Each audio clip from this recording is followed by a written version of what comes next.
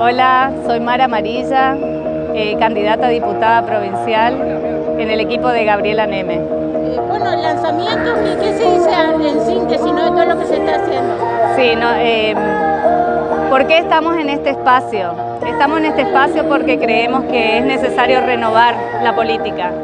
Y me convoca Gabriela con ese fin, está creando equipo con gente nueva que viene desde fuera de la política y la función pública, del sector privado en mi caso, pero porque creemos que la política tiene que cambiar, reinventarse y cambiar los actores de la política que están, ya sabemos que hace muchos años en, en el mismo lugar y sin lograr otros resultados, así que ese es el objetivo.